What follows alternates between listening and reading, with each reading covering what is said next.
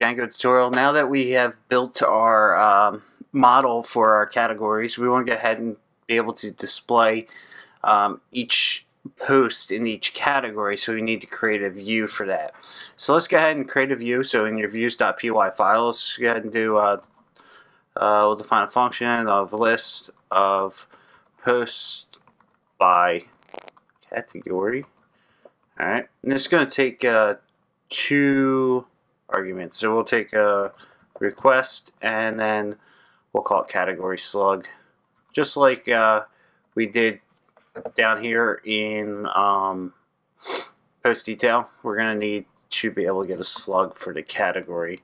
So we'll do category slug. Alright, so in this view, first thing we want to do is get all the categories. So we'll do categories is uh, going to be category dot objects dot all. And below that, we'll do post equals po capital P post objects dot filter, and we'll do status of published. Because we only want the published ones to be displayed on this category page. Um, now, if we have a category slug, um, if we return to category slug, then we want to um, return the proper category um, and have our post match that category. So I'm going to do an if statement in here. If category slug, all right? So if we have a category slug in our URL, then do the next two things.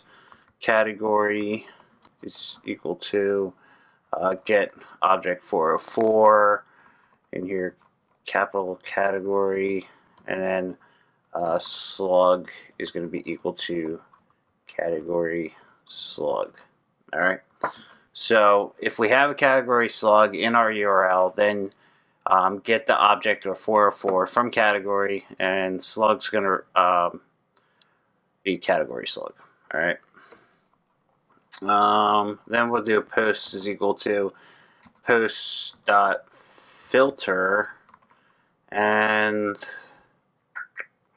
this is going to have to be category is equal to category. I believe that will work. Whoops, not slug, category. Alright, so we want the category to match our post, so we want to be able to post the category that matches it. Alright. And then we need to do template. Um, blog. And then we'll do category. We're going to create a new uh, directory and then we'll do list of posts by category .html. That will be our template we're going to return and then context is going to be equal to a dictionary, and in this dictionary we're going to have categories. Categories is one of our variables. Um, post is another variable. And category. So category would be another one. Alright. Yeah, it's getting a little long. And let's go ahead and return, render. And we're going to return the quest, same as we have done a couple times now, template and context. Sorry about that. So, we're going to take a request. We're going to take a URL that has a category slug and if it has a category slug I don't know if this statement is necessary right now but we'll leave it there for a second um, so we'll go ahead and take a look at this so let's set up our urls.py and in here we're gonna create a um, URL So URL, and in here, raw string, and we're going to match this, and I'm just going to say category. All right, so instead of um, it's starting with the slug like up here, we're going to have it say category, and then um, we're going to match the slug. So uh, parentheses in there, question mark, P, and then opening caret, and then we're going to do category slug. And then close the carets, square brackets, minus, uh, forward slash W plus, and outside the parentheses, backslash, dollar sign, and. So it's similar to what we did up here. We just basically add a category. And then we have to map it to the view. So views dot uh, what do we call it? I don't remember. List of posts by category. List of posts by category, category, and comma. Then we'll use the same name. List of posts by category. Save that. Um, Alright, so we got a URL. Looks like it should work. And um, since we're going to be using absolute URL again, we got to go into our models. And we got to set up absolute URL. So below meta, well, it doesn't really matter where, we're going to set up absolute URL. So we're going to define a function, then we'll get get absolute URL, and in here, take an argument itself. Then we're going to return reverse, and we'll do blog colon list of posts by category. Should shorten that little long. And then args is equal to square self dot slug. Alright, so we got absolute URL set up. same thing we did before with the absolute URL. Uh, same thing with URLs. Basically, all we did was change category and we threw in a variable category slug. So there's nothing different there. Um, the only thing we did different in views was the if statement here, which I'm still questioning if we still need that, but we'll leave it as is for now. Um, um, now we need to create a uh, a directory in blogs. So we'll create a new folder and we're going to call this category. And in category, create a new file. We're going to call that, save that and this is going to be list of posts by category.html.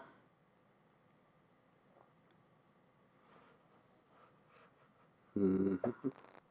List underscore list of posts by category dot html. Save that. All right, so then we go to list of posts over here. Let's just copy this file, list of posts that's in your post directory. We'll paste it in here and let's take a look at what we want to change here. Let's go ahead and make this dynamic. So we'll put a variable in here and we'll do um, category dot name. All right, so our title is going to match our category.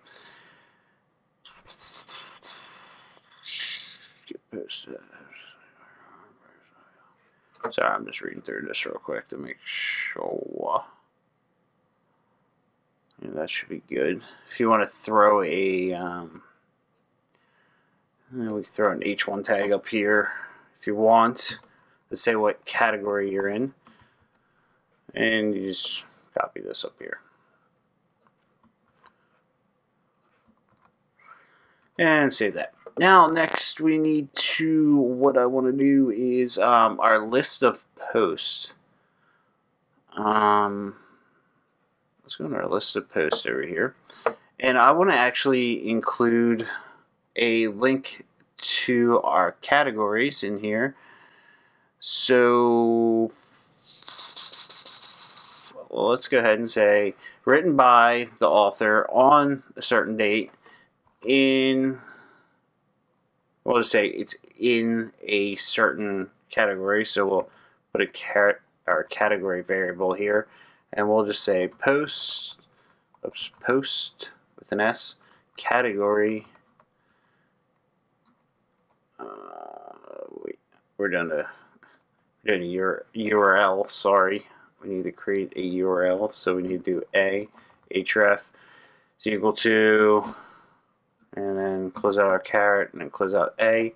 So in here will be our URL so that's going to be post dot category dot get absolute URL and right here we'll name this the variable or put a variable inside for our a tag call and that's going to be our actual category. Okay so we're going to post then we're going to category then we're getting uh, get absolute URL so post category absolute URL is that right? Post category absolute URL yep. Okay um and then we can just go ahead and try this out. So let's go ahead and open up one of these guys, refresh it. Hopefully we have no errors. No errors. Alright, so I got a little link here, tutorials. Click on that and keep our fingers crossed. Name our category is not defined. Let's, well, let me go back there mm, category is not defined. Probably in my views.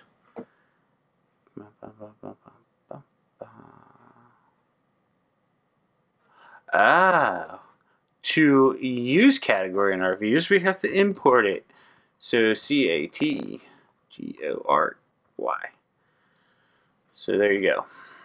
We import category, now we can use that category if you didn't see what happened there, it said name category is not defined. Well, the only time we really use category is a capital in any of our code is in the view as a or as a um, we're grabbing the model. So this is the only place we really use it. We use it here too because I get two statements.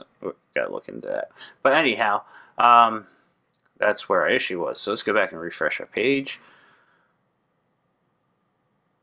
And we'll see if that gives us something better. And it does. If you notice now we got blog category tutorials. So if you would like to go into your admin section and create a couple more, uh, you'd be able to click on your uh, on your um, category here and it'll take you to a list of tutorials that match that. Uh, well, actually, let's go make sure that works before I say it does. So we'll just create another post and we'll put it in the same category. Actually, we'll create another post and put it in a different category. So we'll say, uh, we'll just say snippet, snippet, and we'll give it a title as second post content. Second post it's getting hot in here. Second post second post, author, and then published, and then save. And we'll go back in here, refresh this guy. Now we should have two posts show up, which we do.